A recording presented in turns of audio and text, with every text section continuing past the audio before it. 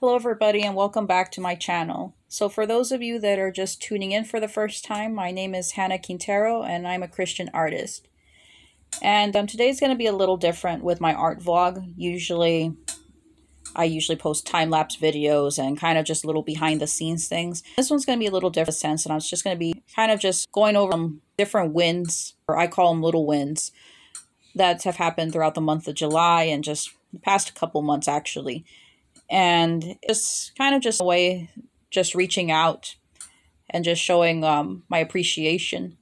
And also and it's also to just to kind of let you all know that for those of you that are not aware i have a ko-fi shop. And it's um, kind of like my mini website at the moment. Um, that's where i have my piece it's original things art prints hand books everything that i have for sale. And i'll have all my links in the description box with all of those for y'all to kind of look at.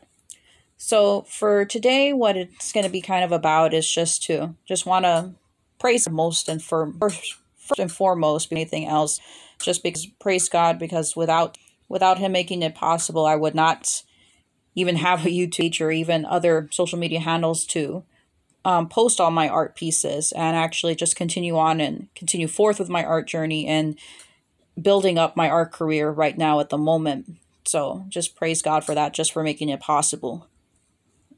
And that's this thing. And of course, there's also a lot of to be thankful for in my little art business, as I like to say.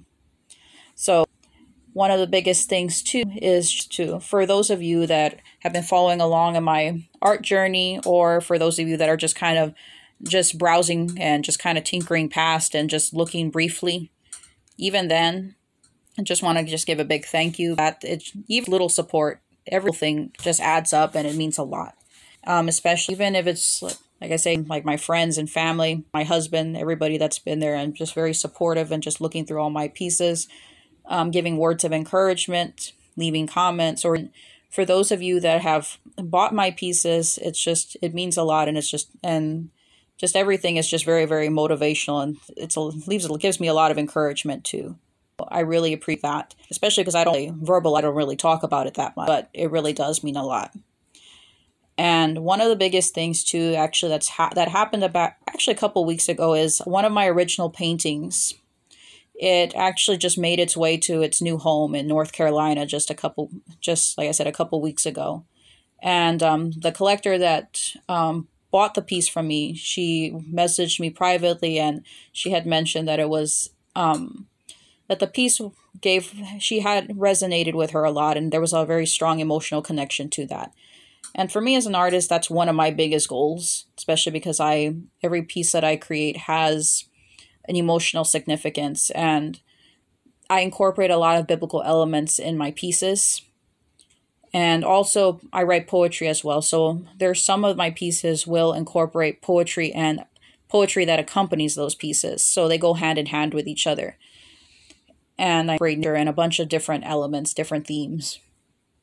But each one, I really want one to resonate with everyone and tell a story. And of course, for everybody to just to sit back and kind of just observe it and think deeply what it may mean to them too. So again, usually when anybody, even if it's just a person just going through my booth or going through my websites and just kind of looking at my pieces and they feel some type of emotional connection, that's again just one of my biggest goals. And it makes me so happy as an artist when when people tell me. And also too a dear friend of mine uh, just a couple weeks before that she had bought an art print actually from the and it was an art print that was actually from the same piece. And that she had mentioned that it was that it resonated with her deeply and that she loved it and just each private message, even when a person just privately messages me and tells me it's that's just thing, just a big blessing. And another thing to kind of add on to that too is just um and this was kind of a bit of an experiment on my part. I didn't really think much of it at the time because I usually I'm very private poetry. I really don't post my poetry very often. Last couple we kind of tinkered with the idea and I started incorporating my poetry out loud while my pieces in TikTok my TikTok channel. And um, one of the pieces actually, and again, I'll um, it should be in my it'll be in my link tree description and i'll have those links again. And um, i read that piece and actually it was very interesting i didn't like i said i didn't think much of it. It actually kind of went sort of i don't can't really say it went viral but it it gained a decent amount of traction. And it was a big surprise. And the only thing one thing i just hope is just that i hope it just resonated and moved for though for and that's see video or if you'll see it later that hopefully it'll move you emotionally and you'll feel deeply once you once you listen to it and it'll make a difference. Because that's again my poetry is the exact same way as how i see with my art. It's a piece of myself that i leave in each piece. Every one is very personable. And it's a lot of times it's almost like the entries they're parts and bits and pieces of my life that i impart in those and Another thing that was actually really nice too just in I made like an investment to myself. And I wrote um or actually no I didn't write. Wish I did. I'll probably maybe publish some po- poetry on. That's kind of a night that's an idea. That's another goal later down the road. But um one of my biggest I'm like a little investment that I made to myself is purchase some books and they're actually business books and um, to read out because they're kind of long. But it's um the Rogue Artist um, Making Art and Making Money guide and the Rogue Artist Art Marketing Guide. And they have an accompanying book, which is the Marketing and Money Journal. So, what's really interesting about the artist that actually wrote those books, it's his name is Rafi Perez, and him and his wife actually they have a YouTube channel, and their art is actually very amazing. Just the inspiration behind their pieces is very inspiring. They have a, a very positive view and Er, empowering the message have in each of their pieces. And just entirely and i admire that especially in artists especially in the day and time we're in every little positive thing we need that right now. So that's it's very very interesting. And the books i wrote kind of goes over in a little bit more detail of of how like go how to be creative as an artist. Like basically just shouting you on and spend all our strengths put them all out there and, and continue on, be innovative in our art careers. Just basically combining art and life as an artist in general. So, and if you've never really, if you've never heard of those books, I would suggest kind of looking them up and reading them. They're very, very inspiring. Whether you're a seasoned artist or a baby artist like myself, I call myself a baby artist. My journey is still very new. I'm still very new in putting myself out there and selling my pieces and just build audience. My audience, I still consider it very, very small, right?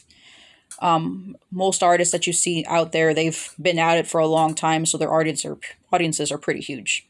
And I'm getting there. Again, it's like everything is slow and steady, slow and steady. But I'm grow. It'll God willing, and I'm I have faith that it will. And the thing too, just I guess one of my big reliefs too, and this is just bonus. I like to and it's because I'm a new mommy. I have a six month old baby. So it's just right now my biggest challenge is another other goal and challenge, I suppose. It's basically time management.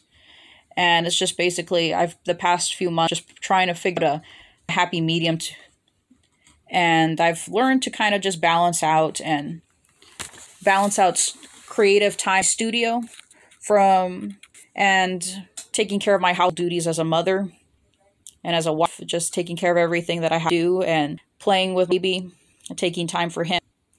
And it's just right now, it's just like I've learned to just put it down and take time in the studio during nap times. So during nap times, that's when that's this time that whether it's during nap times or even at night when he's finally asleep. So hopefully that'll that'll come forth and even later on as he gets older too it'll get a lot better. But yes praise god those are some big wins. And again i just want to thank you all for in and thank you for all your support and your encouragement. And i just want to say may god bless each and every one of you. Have a good day